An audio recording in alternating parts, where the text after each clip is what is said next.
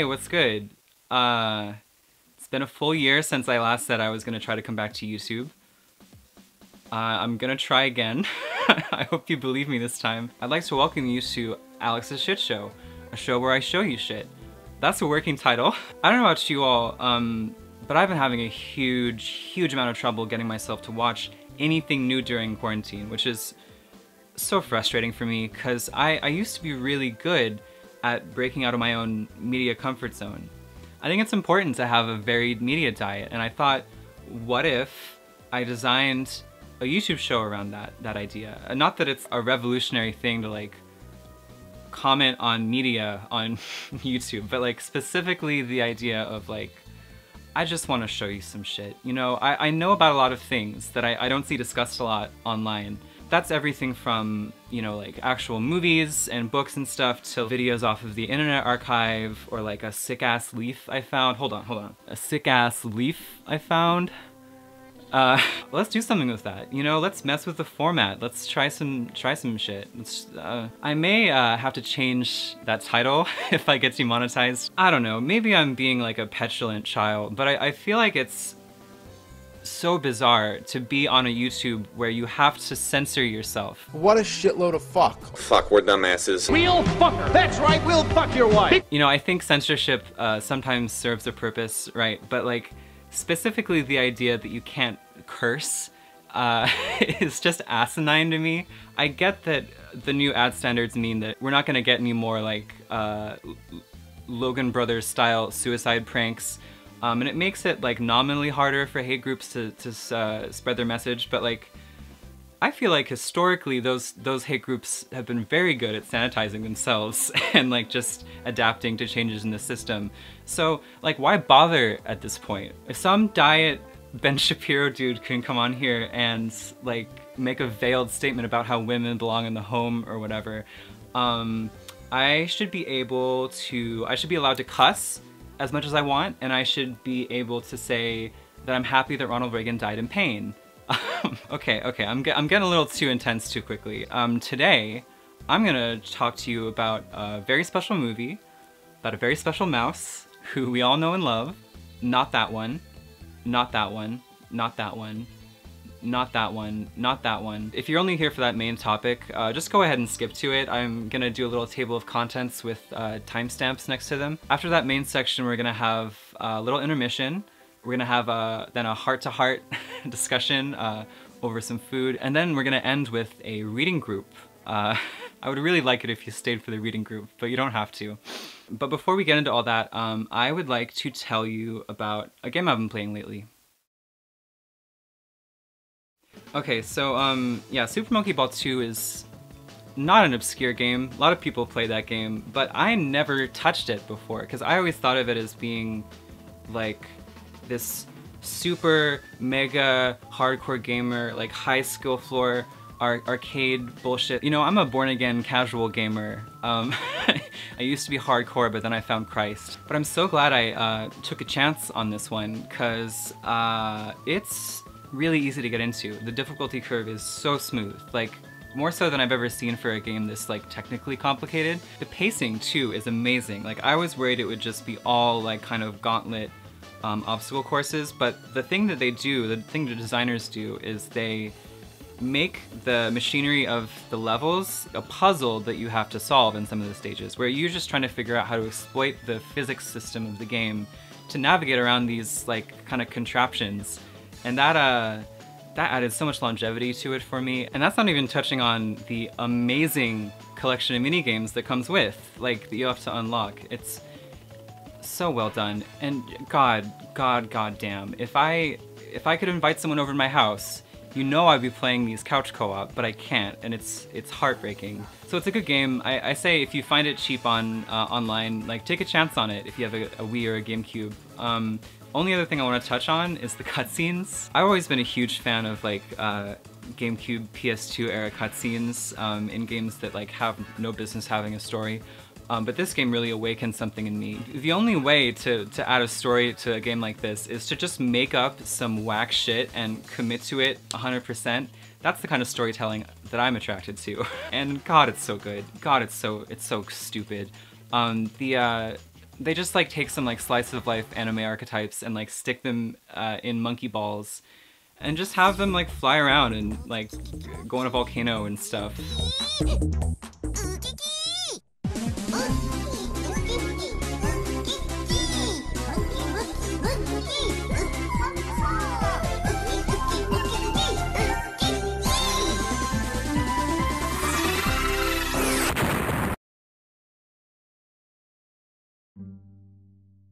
Okay, we're gonna get into the meat of it now. Um, I want you to prepare yourself mentally and spiritually.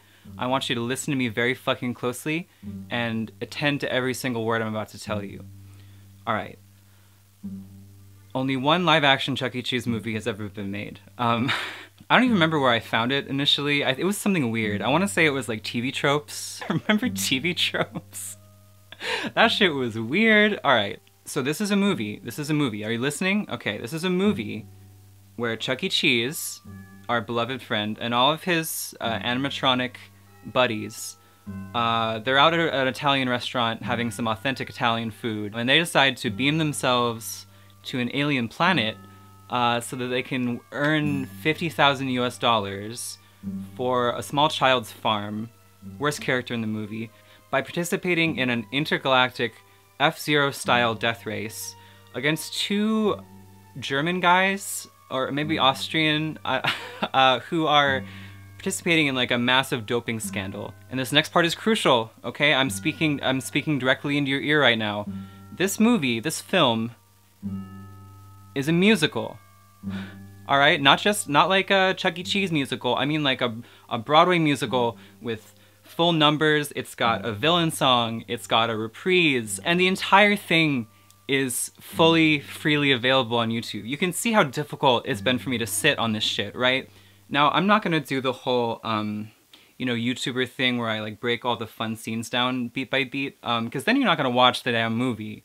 Uh, and I want you to watch the damn movie, but I will give you some highlights. If you're the type of person who's into like ironic nostalgia, hate watching, you'll get a kick out of this movie. Um, especially if you're like specifically into sort of late 90s Phantom Menace era green screen kitsch. Um, but I genuinely love this type of shit. Um, if you know me, you already know this. Like, not, not a lot of irony coming from me on this one. So what do I like about this movie? Like, why do I like movies that are like this? Well, the writing is a big factor, to be honest. You can tell the writers are having fun, but it's also kind of low effort, uh, which I like. And like I said, it's like, this story shouldn't exist, but they hired a bunch of people to justify its existence, right? That's kind of what a lot of these brand movies are like. Um, and you know, there's like a, a cynical way to look at that, but it's already been made. I'd rather just have fun with it and, and, acknowledge the fact that this is like kind of a hollow product. But you know, it's doing like the kind of uh, 90s live action cartoon thing you see a lot in, you know, that era of children's media. Um, and the characters are weird. All right, so like Chuck E. Cheese is written like, kind of like if, if Sonic was written as an adult, like just a normal guy, uh, instead of like kind of like nebulously being an anime teenager or, or sort of. Uh, I, I, don't know what Son how old is Sonic supposed to be? That's fucked up. I have no idea. But no shit. I mean, like Chuck E. Cheese, it's it, he has like the the '90s cool thing going on, but like he just reacts to shit like a normal guy. Um, which is just the weirdest thing to watch. The only race this thing is gonna win is against a cross-eyed turkey with a sprained ankle. Come on, Jasper. It's not that bad, I guess. This this this mouse is a red-blooded American male. I mean, like something I had to come to terms with watching this movie the first time is that Chuck E. Cheese fucks. Okay? Ooh. Hi. Ooh, Chucky! Do you guys know where the racers hang out? Oh, uh, um, well, uh, uh, we're racers, and uh, uh, we're hanging out right here. Don't worry, I got it. No, no, I got it. Get away, Jet. I didn't know that you were taken. Oh, you mean Helen? Oh, she's just a friend. You know, she's like one of the guys. this movie is a little too horny for me, which again is not uh, abnormal for like this era of children's media for whatever reason. there's this weird uh, love quadrangle thing between uh, Chucky and the Bird Lady and the two Austrian racers and a racer groupie, a human woman, and the Austrian guys uh, steal this human woman from him, and it's it's very sexually charged in a way that I'm not really a fan of, and I wish I had like, you know, a joke for this, but I, I really just nothing comes to mind. I want to uh, circle back to those Austrian guys for a second, because uh, they're they're just easily the best part of the movie. Um, you know, it's kind of a basic cartoon dumb guy duo, and the like the two uh, you know goofy Austrians is like a very tired um, comedy trope, but like they do it pretty well. They, these actors are obviously having a lot of fun, and I saw a lot of YouTube commenters like comparing it to was it, Hans and Fritz from 90s SNL, and like I don't know, man has SNL ever been funny? I'm starting to second guess myself on that. Full offense to Dana Carvey, uh, these guys are like funnier than any of those sketches, honestly. In the, these bit actors in this Chuck E. Cheese movie. But you wouldn't hit a lady, would you? Sure. Yeah, a yeah. lady, a doggy, whatever. But these characters' main purpose in the movie is to um, illustrate the message, which is kind of an anti-cheating, um, you know, don't sell your health away or your um, your selfhood away for a chance at success. And that's a good message, right? Like, that's that's pretty standard fare for a kids movie. But um, it kind of goes off the rails uh, when they they choose to illustrate that theme by revealing that these guys are, are literally doing performance enhancing drugs, right? They, they're doing this drug called Zoom gas. And I love this because Zoom gas functions identically to like that cyberpunk slow motion drug from from the Judge Dredd reboot. Do you remember that? And the best part is like it functions way more in this narrative than it does in that movie because it actually serves a purpose in the race, right? It slows down their perception of time so they can make it through like a, a really difficult end leg of the race and it like gives them a head high and improves their focus. And you better bet your ass there is an entire musical number devoted to this plot point, and it's it's a banger. It's the best one on the soundtrack. Unfortunately, uh, the the guys only get to do backup on this, but uh, Doctor Zoom is the, the, the main vocalist, and he does he does a pretty good job. How could you be so blind? just a squirt in your face. If you forget to like, comment, subscribe, and click the bell, you, you will, be, will reduced be, reduced to, to juice. juice.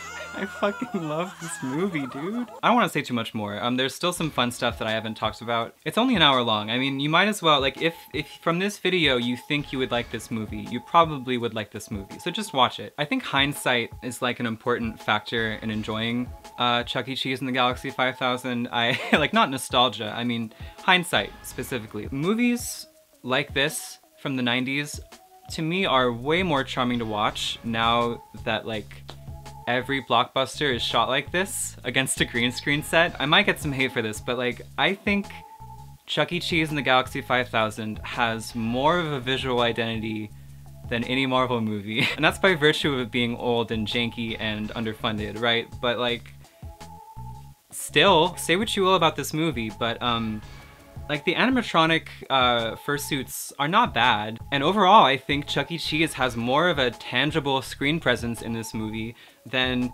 you know, any action scene where like CGI Chris Evans is like weightlessly bounding across the roofs of cars in fake New York. I'm not against CGI at all. Uh, you know, I just think that you have to be trying to do something aesthetically with it that is like more involved than just photorealism. And you don't need like state-of-the-art shit to make um, an aesthetic statement with uh, with CGI. Like, have you ever seen, okay, I can't really recommend this movie, but uh, the, have you seen the 90s Spawn movie? I've never read a Spawn comic in my life, but like, CG in that movie has aged so well. They lean into kind of like the rough polygonal look of early CGI and they, they run with it. And it works. Again, I can't recommend Todd McFarlane's Spawn, uh, but uh, you should at least, if you're like into movie criticism, you should at least read Roger Ebert's review of it. It's very funny. He loved it. I was turned off by Spawn, and ultimately I was bored by Well, I dismissed the story basically because I wasn't interested in it, and like all comic book stories, it's a loop anyway because there has to be a sequel. But I thought this was an extremely interesting movie. Really? It was Also, like John Leguizamo just straight up plays Wario in that movie. That's pretty crazy. like, did they cast him because because he played Luigi in in a different movie? This clown guy, did you enjoy all the flatulence jokes, all the gas bag jokes, and all that stuff? Yeah, that was part of the whole thing. This That's guy funny is to you? supposed At to this be point in your life, that's not funny? Funny, Gene. It's not Oh. that it's funny. It's that it's part of his personality. He's an extremely obnoxious and hateful little creature. Okay, what what was I talking about before I got on Spawn? Um, right. So what I'm saying is, uh, Galaxy 5000 has a visual identity. It's pretty rough, but like you know, some of these uh, CGI sets and interiors are kind of interesting to look at. I mean, this like kind of um, you know space mess hall type thing has a kind of a fun arcade carpet pattern that is appropriate for a Chuck E. Cheese movie. It has like weird stained glass windows and space age furniture and stuff. And again, this is like a lot of this charm has to do with time passing. But like, do you think that hindsight will be as kind to like the Avengers movies? What aesthetic is there to like draw out of that? It's hard for me to imagine uh, like people 30 years from now fetishizing the look of, of Marvel movies. Not that, I mean, okay, a couple Marvel movies have like good looking effects. To be clear, I'm not trying to actually like shit on Marvel movies. There's a couple that I genuinely like. I'm not a Francis Ford Coppola stan, but I do think they represent a lot of things that are wrong with Hollywood right now. And I just, I just wish. Because the movie is in a disreputable genre, I think you're not looking at the real achievement. Wait a minute. I just l- said I like the first Batman movie, and particularly, I- it's not disreputable, it's how it's done. And you're compa- comparing the visual style to Bosch? Well, good luck.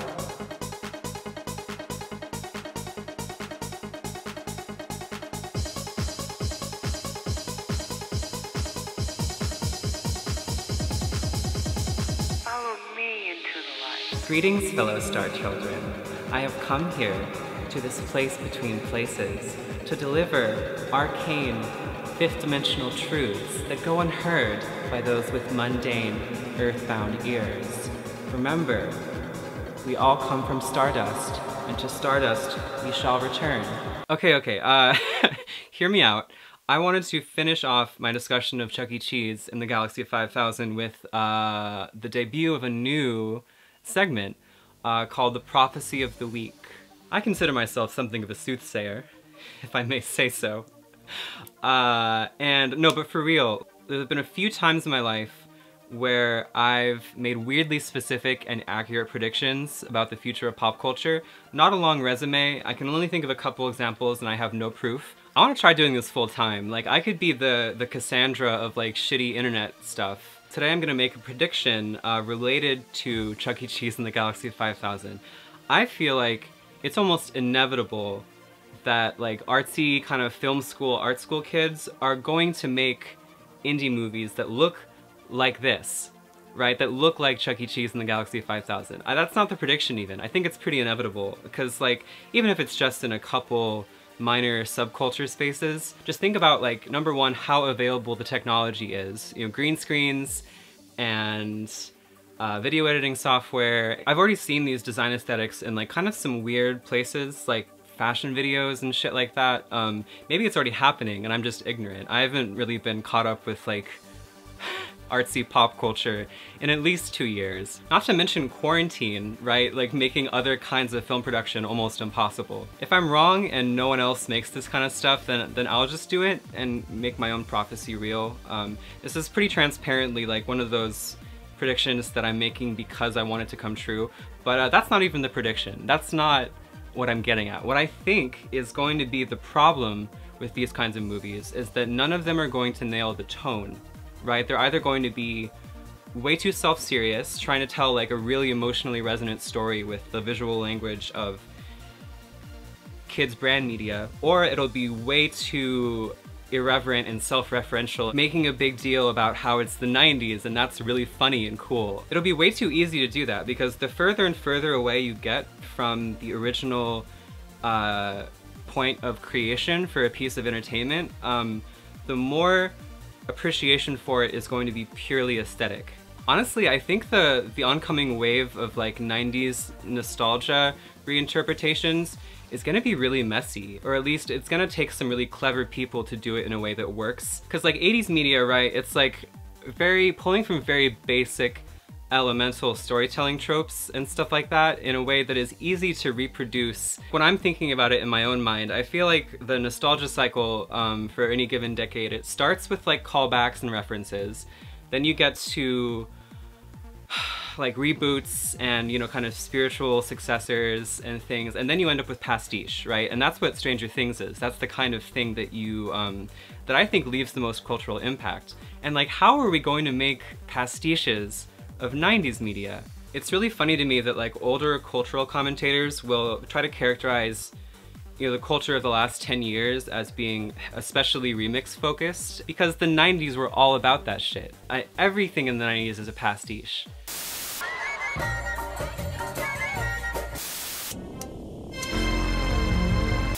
Dodge this. You ever seen that show Cops? I was watching it one time and there was this, this cop on, he was talking about so how are we gonna have like a bunch of like 25 year old kids making pastiches out of pastiches? I, I honestly feel like uh, people my age and younger are gonna have a very hard time understanding the, the actual cultural roots of the motifs and story beats and you know stock characters that make up 90s media, the stuff that we grew up with. And I'm, I'm including myself in that. There have been many times when I come up with like uh, a take on a piece of media from my childhood and then go and do the research and realize I was totally off target because the stuff they were working off of and referencing it was outside of my my cultural sphere and that doesn't have to be a bad thing you know my, my disappointment with a lot of like nostalgic 80s callback movies and stuff is that they have all of the exact same problems as the 80s movies they're referencing. If we have to fucking go through this nostalgia thing over and over again, which I think I think that's just what happens, then I hope that at least engages with the politics of the time that it's looking back on and points to a new way forward instead of just, you know, making an escapist fantasy out of the past. That shit's hard to do, so uh, I feel like it's gonna be a train wreck and we're gonna see some fun stuff, and that's my prophecy of the week. Dude, wow, that was pretty exhausting. Um, I, I feel like I'm not really acting like myself on camera, which I know is normal for YouTube, and I'll probably get used to it as I get reacclimated to YouTube, but I don't know. I need to cool down or something. I need a break. Um, do you want to go for a walk?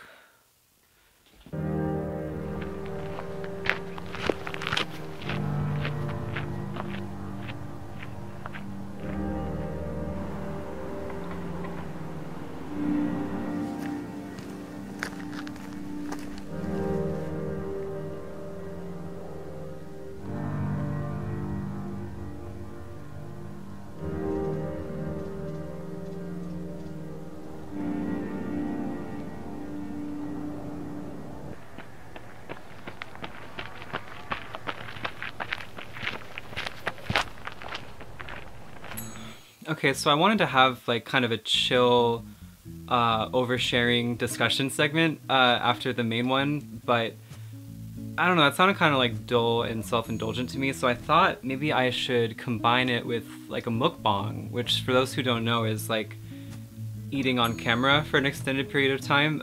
so if you want to pause video right now, grab a snack or something, come back and eat with me, now would be the time to do that. Um, I was gonna like go to a local restaurant and pick something up, but um, my county just imposed like mega lockdown restrictions, so uh, not gonna fuck with that. I've got a bowl of lentil soup instead, um, and I'm gonna do my very best not to talk with my mouth full. I know I've had trouble with that in the past. Feel free to call me out. I thought the subject could be um, YouTube today, and the uh, my fears and misgivings about coming back to YouTube.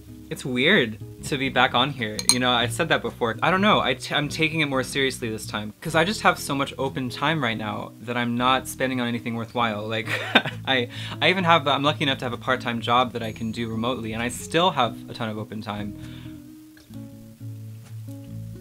I'm thinking I could manage to upload like as often as every other week. I mean, that's how I want to start at least. I, I'm not a fast worker. And to be honest, if this doesn't work for me or if it's not coming out the way I want it to, I might just give up. That's not like impossible. I want to be clear about that. And I also want to be clear that like I'm not attached to this format at all. Like maybe a little bit, but um oh, fuck my battery, man. Alright, well my stupid camera died, so I'm on my phone now. Sorry. There's, I mean, there's stuff I love about YouTube and there's a lot of shit I hate about YouTube. I think that's that's normal. Uh, it's just like, I can't shake the feeling that this platform has so much potential. Don't you ever get a craving to like start a cult or something?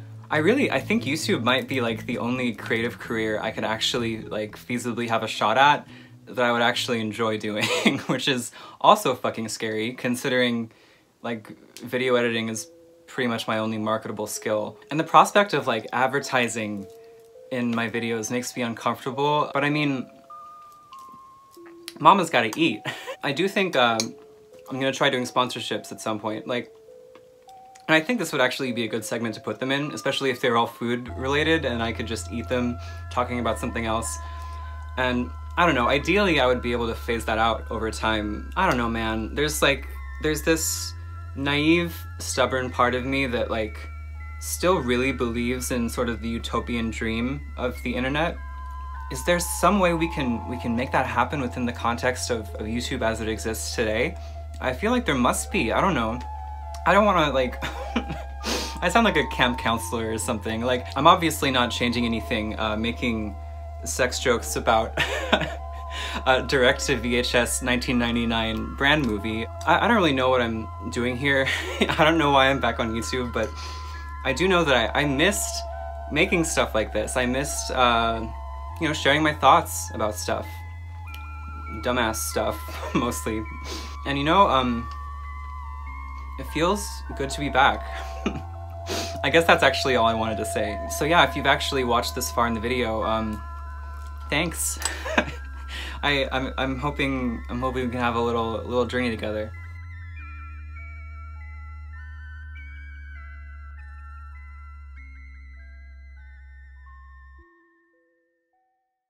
Okay, so it's finally time for the reading group. Um, technically, not a real reading group because I didn't assign you any like reading homework. But maybe in the future, if people do want to read with me, I could actually find stuff that's available to read online and we could talk about little sections of it or something. Is that like too much of a youth pastor idea or is that a good idea? But today I thought I'd just end with uh, reading from a, a, book that I like. Um, it's called Invisible Cities. It's a book of prose poetry by a, a cool Italian guy. And if you don't know what prose poetry is, it's just, prose is like any writing that is not poetry. So it's like poetry written in a non-lyrical style, which I think makes it a lot more accessible and also like you don't have to be into poetry to, to get something out of these poems. Like they're, uh, the imagery they use is really striking and cool and the themes that it explores are spelled out pretty explicitly. It's a little bit heavy-handed sometimes actually. Imperialism and uh, memory and desire and nostalgia, which I think is pretty relevant to um, Chuck E. Cheese. The gimmick of this book is that each poem is a description of a fictional city. I think it would be fun to just talk about it a little bit. It's dubious copyright-wise to be just reading a part of a book, um, but I think if I talk about it enough, that it'll constitute fair use. So yeah, I'm gonna get a little bit pretentious here. I, I hope you I hope you're into it. You can rent it on the Internet Archive uh, with a free account if if you want to read some of this. This one is called Trading Cities 1.